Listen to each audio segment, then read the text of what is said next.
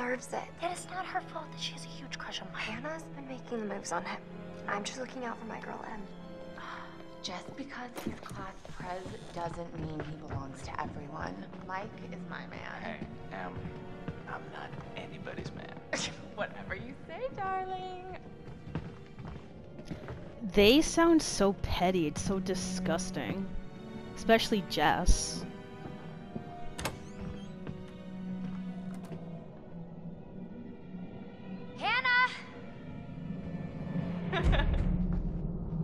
And everyone's in on it too. Like, they're so messed up. How you gonna call? Oh my god, bro.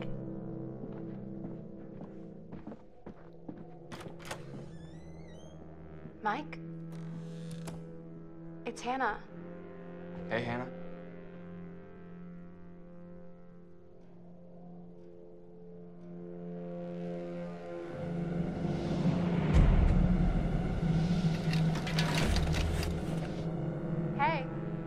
That? Dad said it'd just be us this weekend. No one's there, honey. They left to do their little prank. And Josh is right there sleeping, bro. How are you calling him his name? But anyways, welcome to the first episode of Until Dawn. Shout out to Trisha for recommending me this game. You asked and you shall receive. So, thank you for basically giving this a recommendation. And in your honor, Trisha, I'll definitely be playing this game on my channel. Now, let me just take a look here. I see two sleeping birds. One of them, Josh, obviously.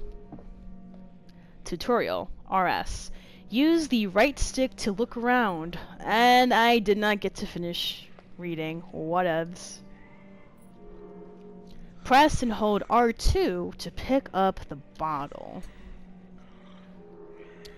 Hold R2 and use the right stick to inspect objects.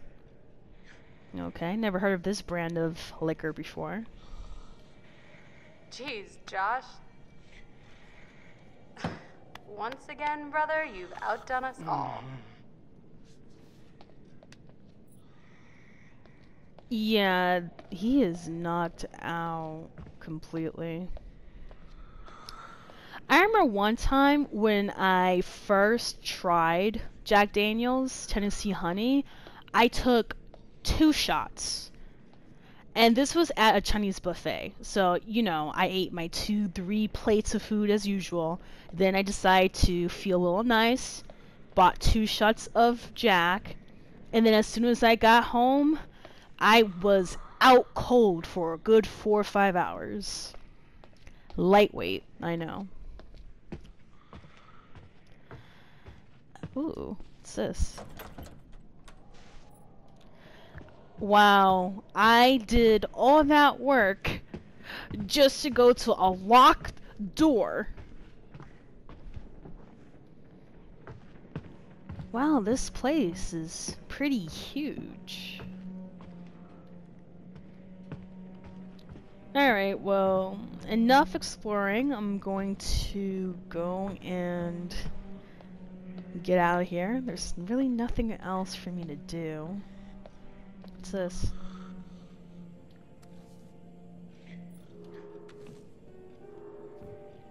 Hannah, you look so damn hot in that shirt, but I bet you're even hotter out of it. Come to the guest room at 2 a.m., Mike. Oh my god. What did our naive sister get herself into now? Damn. She's even talking shit. I got your note. Glad you can make it. Yo. Maybe we should start with a little, you know, making out and see where it goes from there. Oh, hell yeah. Ew. Dead ass? Oh my god. She's taking her shirt off. What? Oh my god. Matt, what are you doing here? Ah, Hannah. I'm sorry, Hannah. Hannah, It's all don't got out mind, of Just hand, a stupid prank. but, uh, You guys are jerks. You know that? You tell him, Sam. Hannah! And that dweeb is still with the camera too. Like, hey yo. Alright, uh what do I choose? I'm gonna try and wake up Josh. Josh. Josh. No? Damn, he's out cold. Guys, there's someone outside. What the hell? Hannah! What's going on? Where's my sister going? It's fine. She just can't take a joke. It was just a prank, Han. A mean ass What did prank. you do? We're just messing around, Beth. It wasn't serious. You jerks! Of course it's not serious. It wasn't serious when she was taking off her shirt being half naked. Totally not serious. No, I kind of think you're the last person she wants to see right now, Mike. Yeah, dick. Press the correct action button before the ah, timer runs out. Ooh. Run, Forrest, run! I'll do safe, because I'm not trying to get killed. There you go, see? Slow and steady wins the race.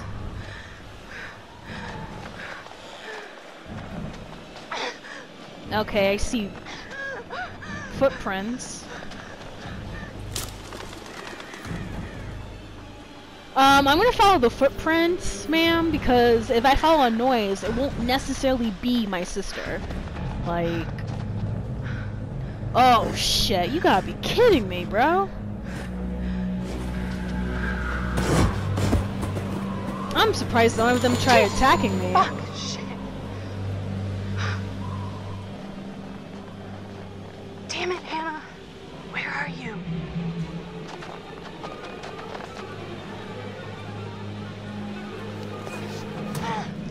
Hey yo, this is mad work, and I know your code. I know she's code. Use the touchpad as shown. Okay. I wonder what kind of an android she Hannah! has. You can direct the light beam using the right stick. Giggity giggity. Hannah! Oh lord, just imagine being out in the cold alone. Like, whew. Whatever. Hold L1 to walk faster? Why are you telling me to walk faster all of a sudden? First of all, why would Hannah's dumbass be running in the cold, in the middle of the woods, in the middle of a storm? Like, bro, what's this?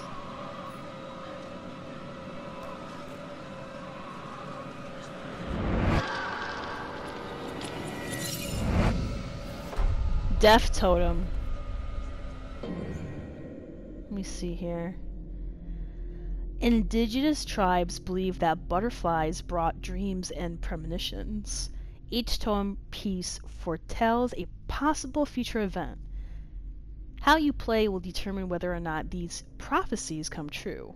As you unlock totems, the events of the past will become clear. Alright, that's cool. Next. So, it's a possible future. May not come true. I hope not. That would suck, just seeing your future possible death flash before your eyes, you know what I mean? Hannah!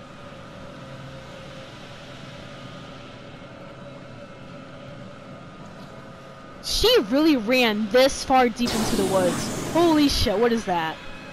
Fire. Uh, fire, so let's go. I'm getting out of here because I'm done. Hannah. Hannah. Hannah. Hello? Hannah. Oh my god, you must be freezing. Here, take my coat. I'm such an idiot. I'm so dumb. Hannah, Beth?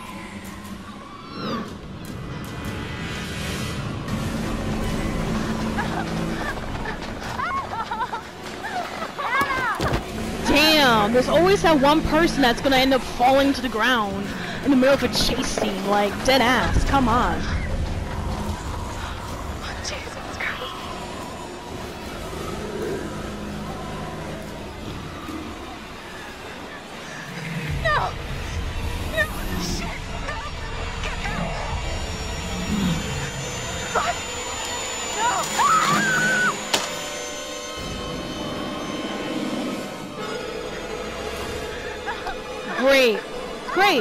We're stunned. Hold on! Hold on! Who is? Oh. Okay, he's reaching out for my hand. You what? Drop my sister? Fuck out of here. I'm not gonna drop my si- No, I'm not doing anything. I'm not. I'm sorry. Shit.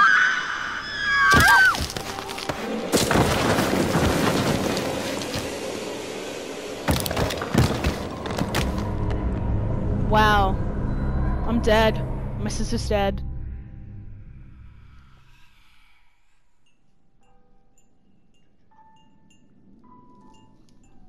Okay. I'm in therapy. It's been a while, a hot minute, but I'm in therapy. Before we begin, there are a few things I need to make sure you understand. You see, no one can change what happened last year. The past is beyond our control. You have to accept this in order to move forward. But there is freedom in this revelation. Everything you do, every decision you make from now on will open doors to the future. I want you to remember this. I want you to remember this as you play your game. Every single choice will affect your fate and the fate of those around you.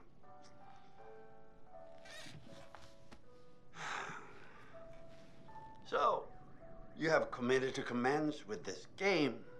This is significant. And I want to help you see it through. Why? Sometimes, sometimes these things can be a little scary, even terrifying, but I'm here to make sure that no matter how upsetting things may get, you will always find a way to work through it. Hmm. That's a strange optimism right there. All right. We will start with a simple exercise. Could you please pick up a card? And I want you to look at the picture on the other side and tell me what you feel about it. It, it is essential that you answer honestly in order to get the most out of this experience.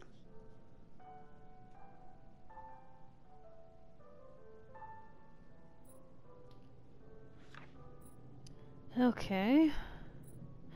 Okay, Scarecrow. Very happy Scarecrow. Lots of corn on the field. Probably summertime. Definitely June, July. Farm's nice too. Very huge, very clean. Seems like it's very homey. And the Scarecrow is not malicious at all. I don't get any type of negative vibes. It's kind of like happy enjoyment. Like, I actually want to be here. So, how did that picture make you feel? Remember, be honest. Well, that's good. In what way did it make you happy? Oh. Interesting. It's interesting. So, would it make you happy to spend the whole week here all by yourself? Hell yeah, away from all drama, sure. Peace and quiet. Who wouldn't want that? And what if I told you that this cottage was haunted? Um, I'll be scared. I'm not into any haunting shit. I'm good. Oh, what lies beyond the veil of death is, after all, the ultimate unknown. And what could inspire fear more than the terror of uncertainty? Okay, basic human ah, emotions. Oh, I'm sorry we're out of time for this session. We'll talk again very soon.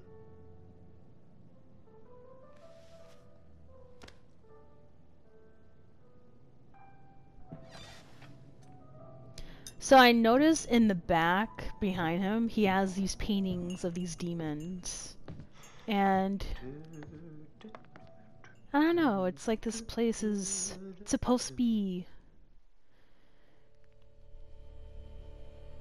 I feel like the office, it's supposed to be a welcoming setting. but that's just a cover.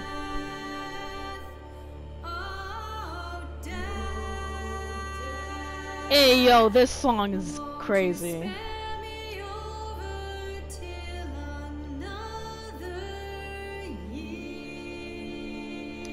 Can't believe I'm playing this game. I've beat it a couple times, but it's been years since I played this, so I forgot what happens in some of the plot. But this should be very interesting.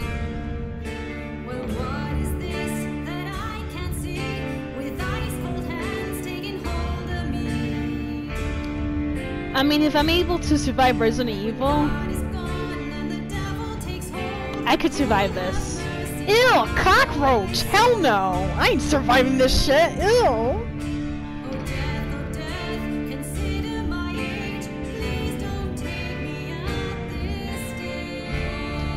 This song is a mess.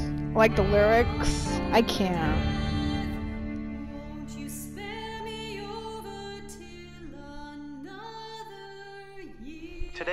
One-year anniversary of the dreadful tragedy that took place on Mount Washington. Annie Klein was in charge of the investigation. Thanks for having me, Marty. Listeners, an update on Hannah and Beth Washington, the twins who are still missing. One year ago tonight, the Washington girls left the safety of their parents' lodge and headed out into a snowstorm. Foul play. Not officially, no. There is one individual we're considering as a person of interest, but his whereabouts are currently unknown. He has an interesting history with the Washington family. He had warned them against pursuing their construction project and claimed the land was sacred to his forefathers. You know, there is still the old sanatorium on the mountain. Could he be hiding there? My officers did search the grounds, but the girls themselves couldn't have made it that far. Something about that mountain seems to breed tragic events. More than you know, Marty. Thank you for joining us, Annie. With all the Washingtons tonight, their son Josh, on this, the anniversary of the mysterious disappearance of Hannah and Beth Washington. Well, hello, friends and fans. All right, let's do that again. All right. Well, hello, friends and fans. It's beyond awesome to have you guys all back this year. Um, first off, I gotta say, I am super excited to welcome all my pals back to the annual Blackwood Winter Getaway. Really? You actually So, still. um, let me just let you know. Uh, let's take a moment to address the elephant in the room for a second. Okay. I know you're all probably worried about me, and I know it's gonna be tough on all of us going back after what happened last year, but I just want you all to know, um, it means, it means so much to me that we're doing this, and that I know it would mean so much to Hannah and Beth that we're, we're all still here together, and I'm thinking of them. I really want to spend some quality time with e- each and every one of you and um, just share some moments that we'll never forget for for the sake of my sisters and you know. Okay, so let's party like we're fucking porn stars, okay? Make this one trip we will never forget, all right? Yes.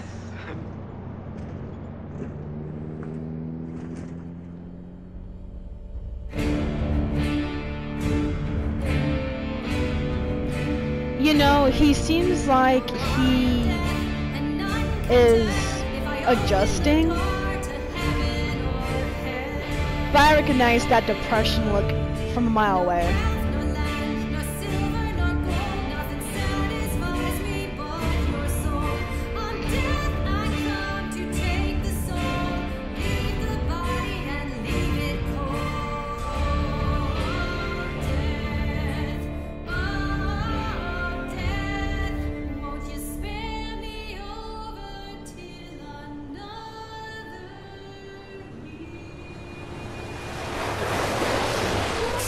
That song is so depressing, bro. Like, I would never put that as a song choice. Not even to Unalive.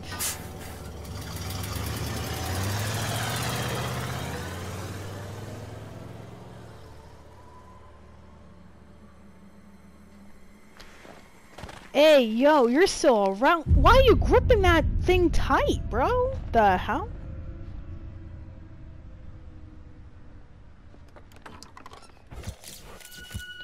Sam, Hannah's best friend, diligent, considerate, adventurous. Nice. Hello? Hello? Someone there? No? Obviously not. Ignore my deep breathing. You know, I was watching one of the interviews from the behind the scenes of Until Dawn, and Hayden Panettiere, the one who plays Sam in the game, was mentioning a couple of interesting qualities about this character. And the one thing that really struck with me was the fact that she mentioned that Sam was vegan. Now the thing is, from what I remembered playing this game a whole bunch of times, there was never any indication of Sam being vegan. Like, there was nothing in terms of her saying, oh, save the plants, or you're a murderer for eating animals, or any of that nonsense. So please, Hayden Panettiere, tell me what made you think this character is vegan? Because that is not canon in terms of any indication that's that there was any hints of Sam being vegan. Like, I don't know. I'm all for artistic interpretation, but I was just laughing at the fact that she was just throwing random ass words in the interview. Wow, what? The gates busted, climb over. My fat ass would not be able to do that, but okay. Alright. Let me just shake just to make sure. Oh, Jesus. Let me in! Let me in! Let me in! Anyways. Alright, so let's do the safe way because I'm all about safety. Oh shit. Oh shit. Oh, I hate this. I forgot this game. Uh, climb, climb, climb, climb. Let's go. I forgot the this game has these little quick things. I'm not really good at them, but I'm I'm gonna try. I'm gonna try.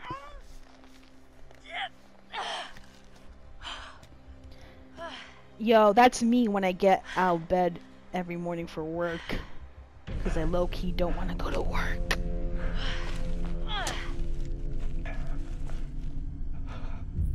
Yo, who the hell is breathing so damn hard, bro? Like, okay, you can watch me, but the fact that you're watching me breathing like Hey, little fella. when the don't move icon is on screen, please keep the wireless controller as still as possible. Okay. Fuck. Damn it. I'm sorry, I can't hold still. That's so hard for me to do. That's it. Come on. Alright, second chance. Second chance. Oh lord. This is so hard. Oh. Whew. Thank god. That took me some time. That was so stressful. If you are unsure of what to do next, you can see your current objective by pressing R1. Well, guess what? I definitely know what to do next. I'm not that too over the all over the place. Like I know exactly what I need to do. Okay? I can focus. Focus on me. cool. Okay, so this is interesting. Indigenous people and butterfly prophecies. Tribes who once lived in these mountains believe that butterflies carry dreams and prophecies of possible futures. The color of the butterfly indicated the nature of the prophecy. Death. Black butterflies prophesize the dreamer's death. Danger. Red butterflies warned of dangerous events. Loss. Brown butterflies foretold of tragedy affecting friends. Guidance. Yellow butterflies offered visions to help and guide. Fortune. White butterflies brought dreams of luck and good fortune. Nice, thank you. Wow, what a coincidence, there's one now. As you explore, you can discover totem artifacts. Picking a totem up and turning it will reveal. Okay, I guess I don't need to read the whole thing. Fucking game. I swear to God, if I get the death totem, I'ma flip. Oh shit. Okay, a guidance totem. Thank goodness. The future is uncertain. Whether or not the prophecy comes true depends. Okay, whatever. You know what? This game is forcing me not to read because I can't even finish reading. I am so depressed. So I'm here alone in the dark. Like, I would never. The hell is this? The past all the way up here. the past is beyond our control. That's not. Mm, I'm done. I'm done. At that point, if I saw that shit, I would be like, yeah, trip canceled. I'm going home. Good Chris? luck. Goodbye. Bing bong. Get out. Bag's here. Where are you? You're not in the bag, are you? Yo, I'm done. What do we have here? So the phone's ringing, but you know what? I'm gonna close the bag because that's none of my business. Anyways, a butterfly effect appears when your actions have. oh, fuck off. made it. Can't even read. Chris has a crush on Ashley. Methodical, protective, humorous, cute. Okay, that's cool. What's good, Chris? Oh, so I found something kind of amazing. Uh huh. I'm not gonna tell you. You gotta see for yourself. Come on, it's this way. Where? Right around here. Gonna blow your mind. Okay. Ooh, what's that? Let me see. Let me see. Let me see this. A wanted pro. A wanted poster. You think we'll get a visit from America's Most Wanted? Bro, stop playing. Someone thought so. Oh, come on. This place is abandoned most of the year. Nobody comes up here. Obviously, someone's here if there was a graffiti on the sign. Well, the map, but whatever, Chris. Thank you for watching this episode. This is Lover of Ladies, and I'll see you next week.